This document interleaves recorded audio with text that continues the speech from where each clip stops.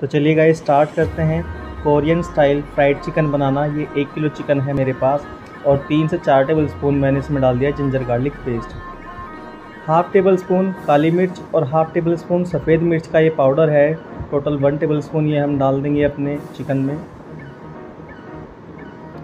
और एक table spoon से थोड़ा सा ज़्यादा मैं इसमें नमक डालने जा रहा हूँ और मोर देन वन लीटर में इसमें पानी डालने जा रहा हूँ, जिससे ये लबालब ऊपर तक भर जाए। अब इसे हम अच्छे से मिला लेंगे पूरे मिक्सचर को और मसाले को और अब दो से ढाई घंटे हम इसे मैरिनेट होने के लिए फ्रिज में रख देंगे। फिर मैं आपसे मिलता हूँ। सीधा बैटर पर, ठीक है जी? तो ये मैंने 100 ग्राम कॉर्न स्टार्च ले लिया है और अब मैं इसमें 200 ग्राम मैदा मिलाने जा रहा हूँ और धीरे धीरे और ये हाफ़ टेबल स्पून से ज़्यादा नमक। और धीरे धीरे मैं इसमें पानी मिलाऊँगा जिससे लम्ब्स ना पड़े और अच्छे से इसका एक बैटर बना लूँगा। ठीक है जी? थोड़ा पानी और धीरे धीरे पानी आपको मिलाना है और अच्छे से बैटर बना लीजिए। तो ये देखिए, ये फ़िलहाल रिबन कंसिस्टेंसी में आ चुका है। ये जो कंसिस्टेंसी है, रिबन कंसिस्टेंसी से बोलते हैं और मैरिनेटेड चिकन स्ट्रेन करके एक्स्ट्रा मॉइस्चर निकाल के ये मैं इसमें डालने जा रहा हूँ। अच्छे से इसे मिला ले बैटर में और अब मिलते हैं ऑयल पर। ठीक है जी? तो ये मैंने more than 500 gram refined oil लिया है और ये लो मीडियम फ्लेम पर है। इसमें हम चिकन डाल देंगे धीरे धीरे और सारा चिकन डाल दीजिए। आप अपना सात से आठ पीस एक बार में आराम से आ जाएँगे। ठीक है जी? तो पाँच मिनट हमें एक साइड से पकाना है, फिर मैं आपसे मिलता हूँ। तो देखिएगा, इस पाँच मिनट बाद हम इसे पलट लेंगे। ध्यान नाल आपको ये काम करना है, कभी ये आपके छीटे लग जाए। ठीक है जी? और पाँच मिनट दूसरी साइड से भी हम इसे अच्छे से पका लेंगे। टोटल दस मिनट हमें लो मीडियम फ्लेम पर पकाना है। ठीक है जी? ये देखिए। तो देखिए गाइज़ दस मिनट बाद कुछ इस तरह के दस पूरे हालात हैं और अब हम चिकन को निकाल लेंगे और सात से आठ मिनट ऐसे ही हम इसे छोड़ देंगे। ठीक है जी?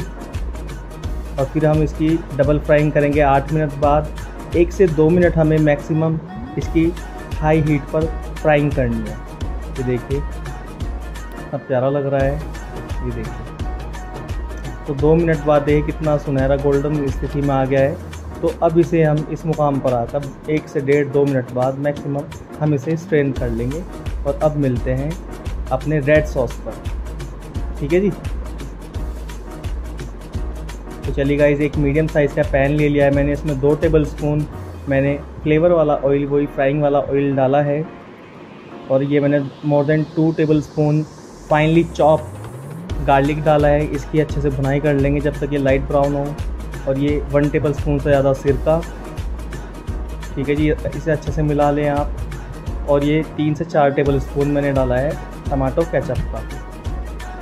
ये वन टेबल स्पून से थोड़ा सा ज़्यादा डार्क सोया सॉस है। अच्छी क्वालिटी का आप लीजिएगा ये। ठीक है जी? और इसे भी हम अच्छे से मिला लेंगे। ये देखिए कितना प्यारा भी से लग रहा है ये। अच्छे से इसे मिला लें। ठीक है जी। अरे, एक से दो मिनट बाद ये मेरे पास 100 ग्राम शेजवान सॉस है। इसे भी हम अच्छे से मिला लेंगे। और एक टेबल स्पून है चीरी स्वीट एंड सावर ये सॉस होता है और अच्छे से इसे मिला लें आप। दो से तीन मिनट पकाने के बाद, चीनी के मेल्ट होने के बाद, ये मैं सौ एम के साथ one tablespoon corn starch को पानी मिक्सचर में मिलाकर डाल रहा हूँ। ठीक है जी? तो ये देखिए, कितना प्यारा सॉस बन गया है हमारा। ये देखिए, अच्छे से दो से तीन मिनट पकने दें और ये देखिए, इस कंसिस्टेंसी पर आकर गैस फ्लेम आप बंद कर दें। और अब मिलते हैं ड्रेसिंग पर। तो ये मैंने ड्रेसिंग मिला दी है इसमें और ऊपर से मैंने सेसमी सीड से गार्निश कर देता है। तो चलिए, अपने फेवरेट पार्ट की तरफ़। तो चलिए स्टार्ट करते हैं टेस्टिंग ये देखिए लाइक पीस कितना प्यारा लग रहा है। वाह। नेक्स्ट लेवल जी, कितना जूसी चिकन बनाया ये। वाह। देखते हैं कि बाइट और खाकर हम्म। मज़ा आ गया, जी। बहुत ही अच्छा बनाया है। बहुत ही जूसी बनाया है, बहुत ही टेंडर बनाया है। टोटल 12 मिनट पकाया है ये और बड़ा मज़े का बनाया है।